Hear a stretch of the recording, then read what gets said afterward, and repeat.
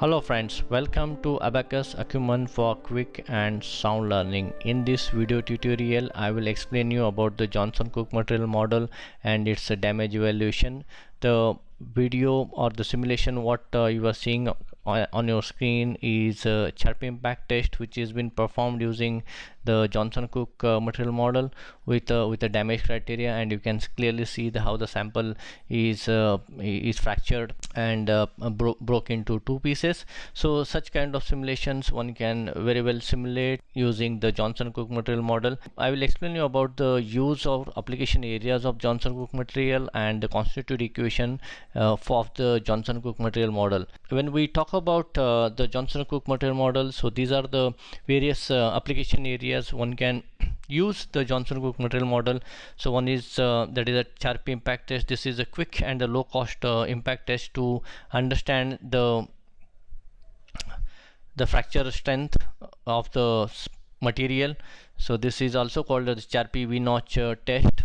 And there is another uh, area is a vehicle crash uh, explicit model wherein one can uh, generate the strain rate sensitive material data of these uh, steel structures various steel uh, grade uh, materials and then we can plug uh, or we can express these strain rate sensitive stress strain data using the Johnson Cook material model. And there is another area which is the armor steel application where where if the high speed bullet is impacting to this uh, steel barriers. So in that case uh, the this steel barrier barrier will experience uh, the high strain effects as well as there will be some temperature elevated temperatures as well. And so why we need to uh, consider this Johnson Cook material model? When uh, material experiences high strain rates under the impact conditions. So mostly in the impact conditions the material is experiences the high strain rates at the and also large strain. And also there are chances that the temperatures are at higher higher level. And when we uh, model this scenario of impact scenarios using the conventional method of say quasi-static uh, approach then uh, the behavior will significantly differs and we may not be able to capture the the actual uh, phenomena.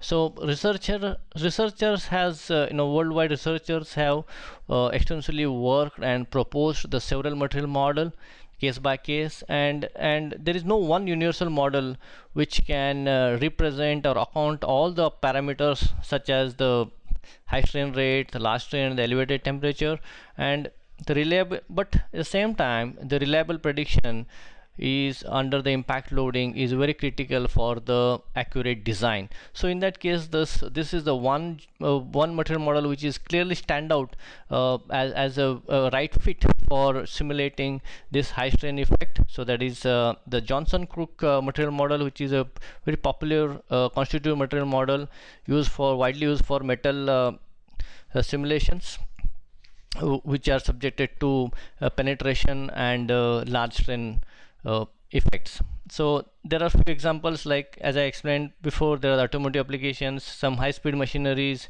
defense applications such as battle tanks and high-speed project impact or armor. See the, these are the few of the applications we can we can uh, very well use this uh, Johnson Cook material model.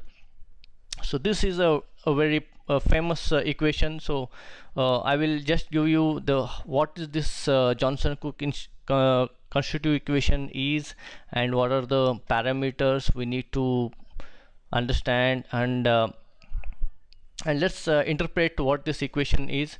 So the, this is the sigma eq that is equivalent uh, stress. One can calculate uh, you know can be represented or calculated using uh, the, these three terms. So the first term is uh, is the is a hardening law that is a power law which represents the stress strain that is a normal stress strain uh, curve uh, with the with the A as a yield stress and B as a strain hardening parameter. And then this is a plastic strain which is power to the n. So n is uh, the strain hardening exponent.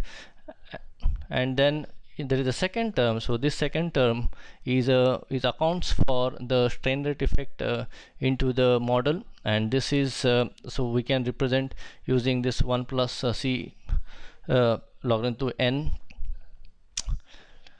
And uh, this parameter is uh, it, it accounts the strain rate uh, sensitivity part. And where C is the strain rate sensitivity parameter that is C. And then and this particular term is accounts for the strain rate effect into the material into this material. And there is a last term that that accounts for the temperature effect. So this particular we can calculate it calculate using this uh, t uh, raised to m. And this m is uh, nothing but the the temperature exponent. So this all these parameters that is a b and c m all these parameters one can calculate it uh, you know estimate using the experiment test. And uh, this experiment uh, tests are uh, usually conducted in uniaxial direction and using the the the specimen. So all those details there is a one one I will give you the reference to the the paper. A technical paper you can go through it and understand uh, the method of uh, calculating these parameters that is a b and c m through this uh, experiments that is a tensile uh, uh, pull test. And let me uh, explain you like uh, how this uh, you know significance of this equation. So this is a curve that is a stress strain curve and this we can fit it using this uh, hardening law that is a power law. And then when we pull the same specimen or same material with a higher strain rate and we can expect the the yield stress or the ultimate stress goes uh, above this uh, the normal uh, strain rate curve that is a low speed curve. And then at the same time the failure strain also reduces. So this behavior we can expect and this particular data we can generate through this uh, uh, tensile uh, test and we can fit in or represent using this uh, term that is a strain rate uh, term. And then the last one is uh, the temperature effect. So when we have at elevated temperature the metal can uh, become little soft softer and uh, and the effect and the stress strain if you uh, effect will be different compared to the normal speed and the high speed stress strain curve so we can also account this particular behavior using this uh, this this particular term. So so in all the Johnson Cook is a is a is a is a material model which will account use all these three effects uh, in in one equation or one go.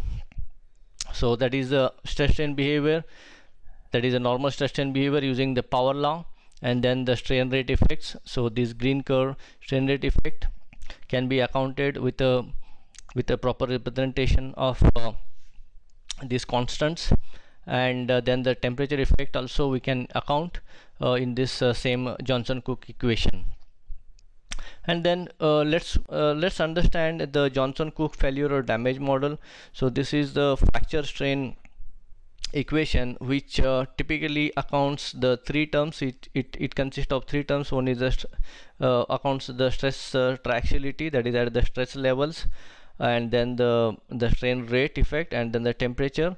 And d1 d2 to d5 these are the damage uh, account for the damage factors and these are the material constants. So these particular d1 to d5 we need to evaluate uh, using the experiment and there is a method to do it and that is well captured in one of the reference paper what uh, what i'm going to show you and then there is a few other terms we need to look into to understand the the this damage model. So all these uh, parameters we can very well define in in abaqus using the plasticity model as well as uh, the damage evaluation criteria so with this equation what uh, we are typically doing is uh, the material damage is accounted and the fracture strength we can calculate uh, using this equation. So once we plug in or define this uh, damage that is uh, values that is d1 to d5 so abaqus will account for for these factors and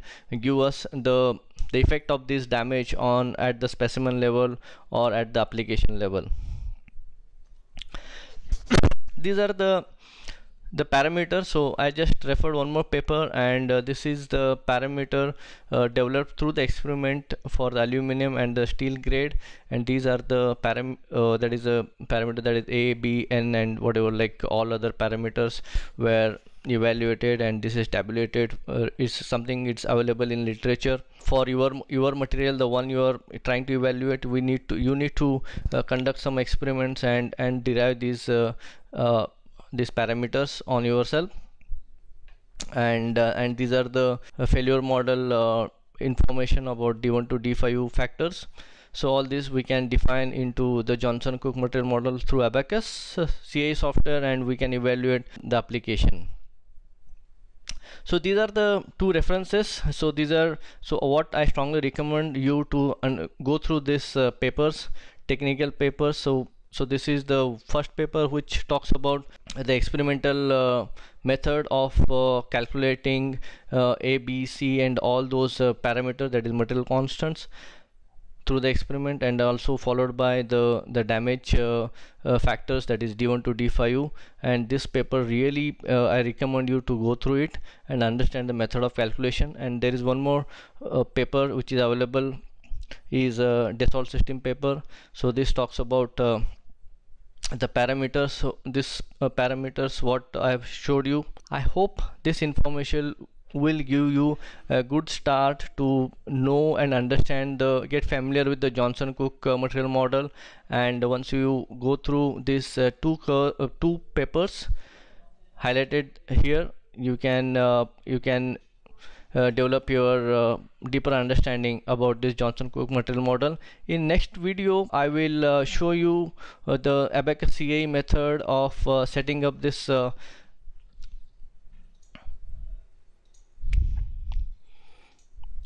setting up this uh, Charpy impact test and uh, evaluate for the the energy internal energy absorbed for the material uh, under this uh, Charpy impact test so guys uh, i hope uh, you find this video useful. Please like us uh, on the uh, for this video and also i recommend you to subscribe so that uh, you can get uh, the information about the next video as well. Thank you.